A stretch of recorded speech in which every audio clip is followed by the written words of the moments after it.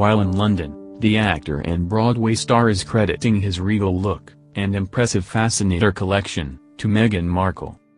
Billy Porter never holds back when it comes to his style, and now for London Fashion Week he's channeling a regal look inspired by Meghan Markle.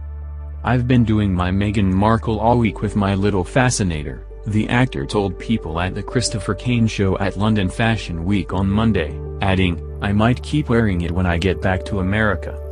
The Tony winner and Pose star is known for breaking gender barriers with his high fashion choices, having worn a full-length custom Christian Siriano-designed tuxedo ball gown to the Academy Awards earlier this year.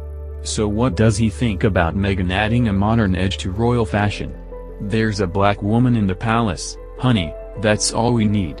Porter said with a laugh, adding, we're loving her over in America. Porter, one of People's Best Dressed of 2019, has changed outfits up to four times a day since he arrived in London for the shows. And he's accessorized many of his looks with a fascinator, just like the royals, be it feathered, veiled or as he was wearing at Kane's show, a black architectural style.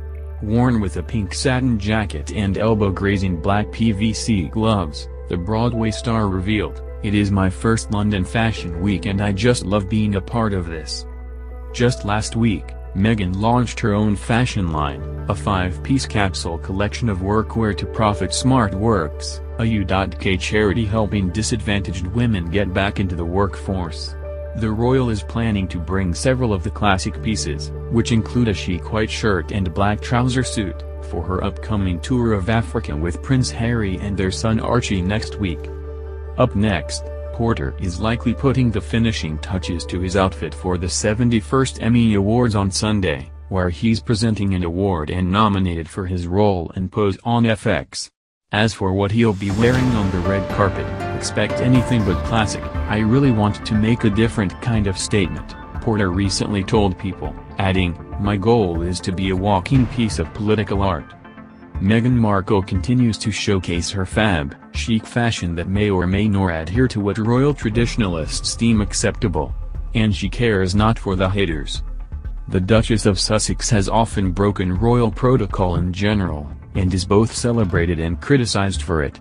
Her style is unique, she likes a messy bun even the royals typically don't wear them in public.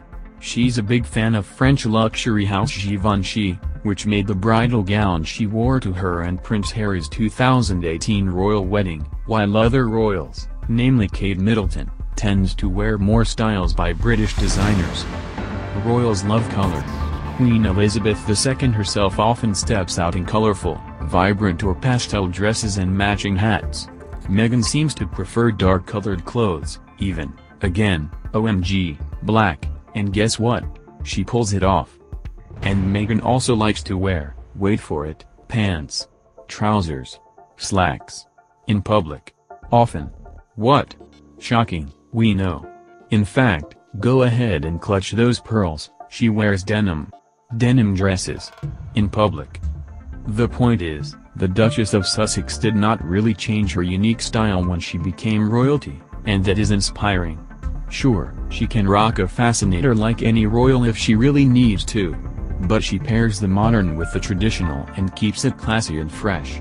Perhaps other royals will follow suit. And stop with the suit obsession.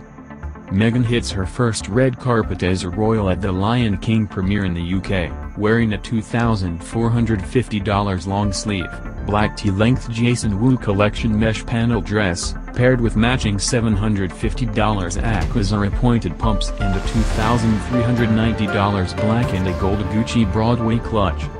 Meghan brings baby Archie Harrison to watch Prince Harry compete in the King Power Royal Charity Polo match.